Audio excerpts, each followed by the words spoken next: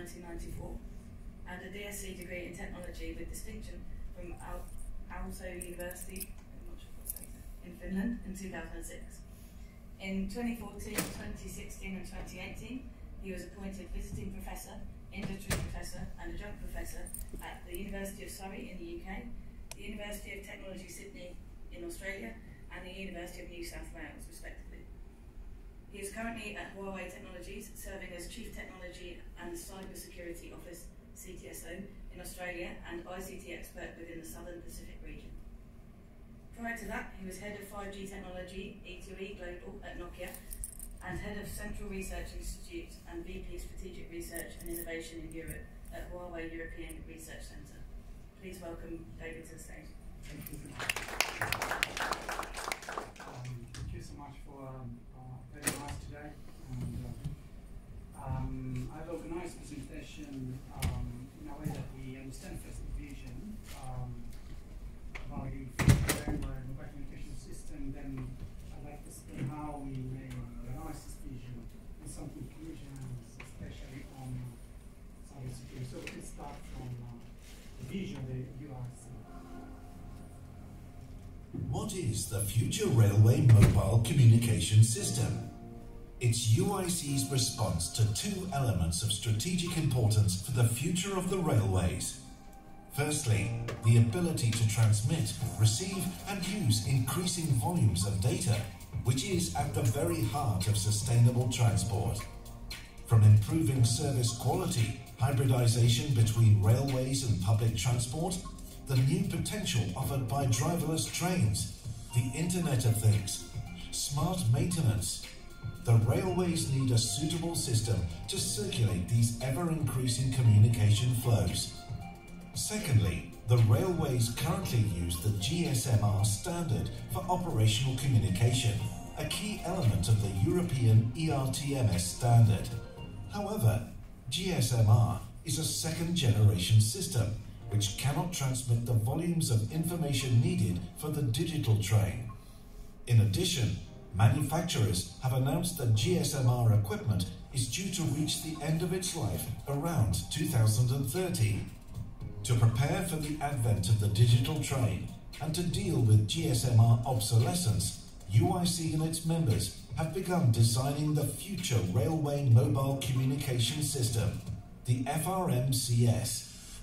FRMCS is designed first and foremost to be able to support all of the applications that may be implemented within the scope of rail digitalization. This is why we call it an enabler. FRMCS must remain flexible over time so as to safeguard investment in the railways. For this reason, it will be included in global telecommunication standards once these are published. FRMCS can also be used with complementary networks, Wi Fi, public 5G, or even satellite. It offers what is known as bearer flexibility, again optimizing investment. Of course, FRMCS is built on the IP protocol, ensuring optimal flexibility and upgradability in terms of applications. Ultimately, just like GSMR, FRMCS will enable interoperability in railway operations. FRMCS will be a key driver for rail digitalization. It will optimize infrastructure cost of ownership while improving levels of service quality for users, all within the context of complete interoperability. It is opening the way towards the mobility of the future by breaking down barriers between transport modes and usage.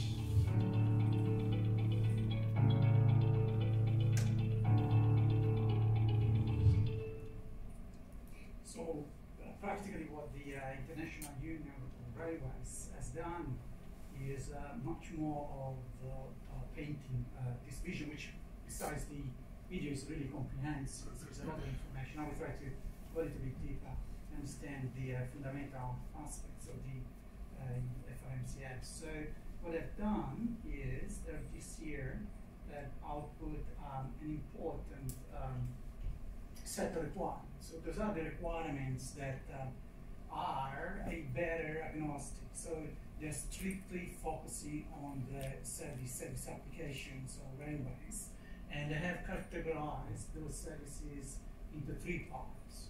So they specify requirements on uh, the performance of those applications, and uh, the target is to have op optimal railway operations. They also say a lot on uh, how to support the business applications, both in terms of communications and data services for optimal operation of business in general. And then they've also gone much deeper with the current uh, critical application and explain uh, detailed requirements on uh, the essential application for the train movements as well as for safety or anything concerning the obligations. And uh, um, after this uh, document has been made publicly available and pushed to ETSI, that is a standardization organization in Europe, um, happened that ETSI has liaisoned with the 3GPP. 3GPP, it is the industry standards uh, defining and specifying the mobile communication system. So they have received those requirements and today we have already available a detailed technical report and the technical report inside depicts clearly how the architecture looks like. And by observing this particular design, you can see that the FRMCS is expected to be very agnostic because if that is the end user, those are the equipment, we have the, the communication services and the data services will across any kind of access technology. So it's not just about, say, uh, a mobile communication system, but we also have other type of access, including Wi-Fi, and from release 17 onwards, also non-terrestrial access, like the video show, which means satellites. And on top of it, what we are expecting is a core network that handles all type of services regardless the end user and device we are having in use. This technical report now has been translated into technical specification. I have mentioned here the five fundamental documents. You see here it's already well described uh, requirements on the voice, critical voice, but also critical services, common requirements such as train signaling and then video data and in addition to this, now it's ongoing uh, the requirement specification, which goes well beyond uh, the above. So the system that we have um, in front of us to realize the particular vision consists on uh, different type of domains. So we have horizontal domains, which basically construct the networks, and the vertical domains, which support different type of application. Like, see, like here, what we have depicted are basically the three main domains application for coordination, operation and management, and transport and management. So, like what we're expecting now that as the GSMR is about retiring, so in, in 10 years from now, gradually, we will assist at the deployment and enhancement of the communication system through the LTE, which is a, a, a 4G system, and then it will be slowly moving into the 5G communication and data service. So as the network, say, expands, we are also expecting that the system has to be uh, resilient to any kind of uh, threat and mitigate all possible risks. This is a fundamental requirement of the UCI, and the uh, risks and threat has to be mitigated not only for the communication services, but also from the corresponding data service. As a result, the system we show you now has been really thought to handle all kind of possible threats. I've listed the most important here, and uh, some of those have been already mitigated because decision of having uh, over-the-air updates has been basically uh, um, removed.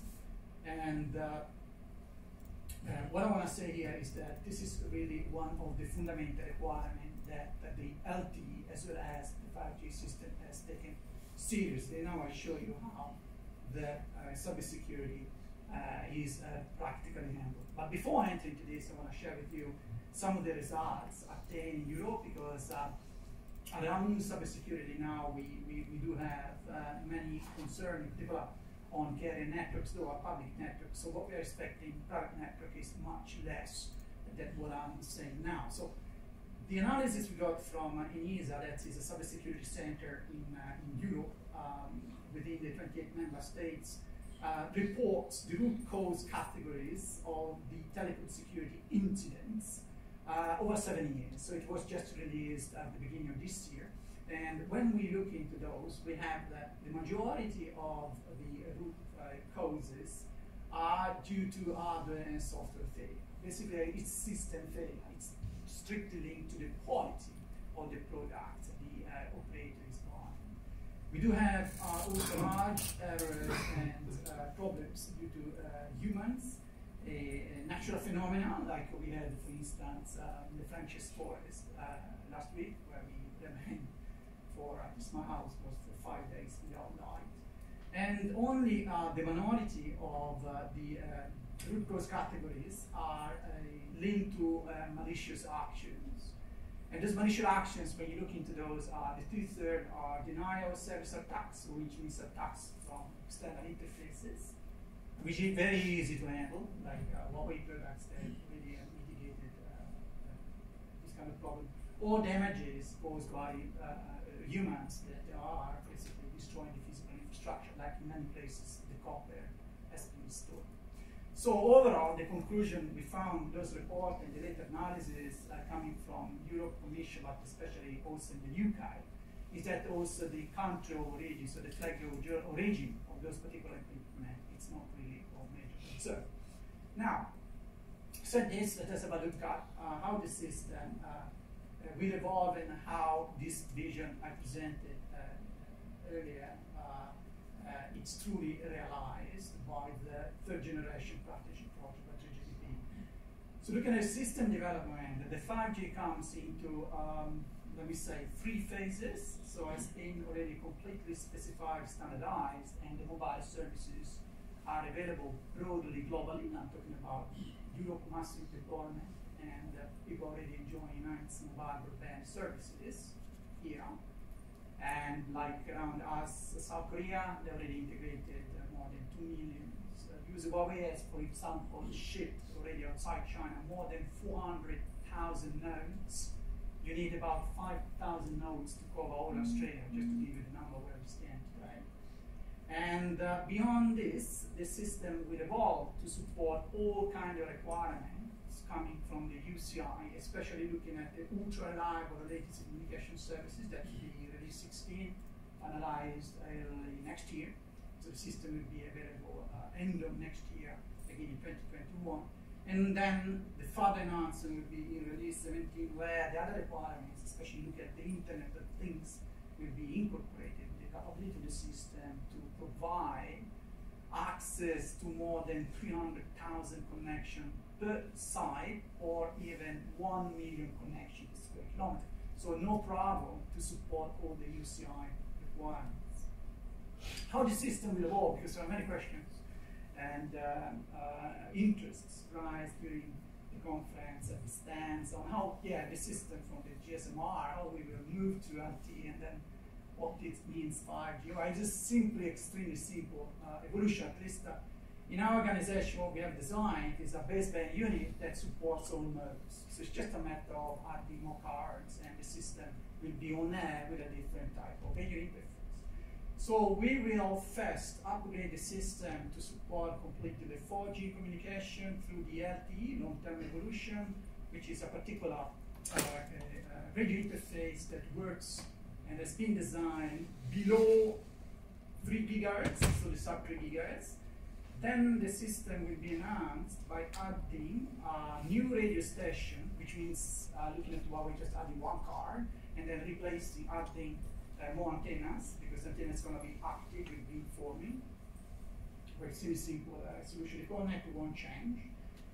The fundamental difference between these two ways of accessing the network is that the new radio has been further enhanced with respect to the LTE so that it can support all spectrum not only the sub 3 gigahertz, but also the C-band, like in here, millimeter wave up to the uh, visible line. And then later, the core network will be also enhanced, will be also uh, uh, improved, and we are talking about the 5G core. And the 5G core, it is um, a cloud-based architecture that, that will support many more use cases, such as the slice of the network I'll show you in a moment, and uh, the possibility of shifting the function very close to the edge so that the latency in the communication services uh, will be uh, dramatically reduced. Time frame is that the old system supporting enhanced mobile broadband communication is already available, specified, and uh, commercially in uh, other places deployed. It remains to be uh, enhanced as far as the ultra reliable communication services and the massive communication. So from next year onwards, and there we are referring to the release uh, 16 and 17, as I mentioned earlier. So there are many questions also, yeah, but what are the, the changes at the protocol level? Do we introduce vulnerability? Is that really so that uh, the access will blur in the core network or this concern? And the answer is absolutely not, not. It's exactly the same system. As I said, we have the same baseband unit. Core network initially remained the same in non-standalone. And the protocol stack you see here, the control plane is exactly the same because the end the mobile terminal, whatever the terminal I'm talking about, we have a camera, it will be still served through signaling using the old generation network, so the LTE or 4G, and then initially you will simply add a pipe or data in dual connectivity to the terminal. The stack, so the protocols, when we look at the details, exactly the same. The only thing we have introduced here, service description protocol, because the quality of service handled now by this station is much more accurate than the one the LTE does. So not major changes, only improvements are the one big part. That's the first configuration, non-standalone. In its standalone configuration, when we will also replace the core network, uh, we will have a fresh new system end-to-end. -end. And the core network, let me see here, the terminal is still here, and that's the access network, the radio access network remains here. What we do here, we enhance the core basically we enhance the spot. It is a service-based or cloud-based oriented uh, system, so it is possible to compose, program different type of functions. Now, looking at the railway, for instance,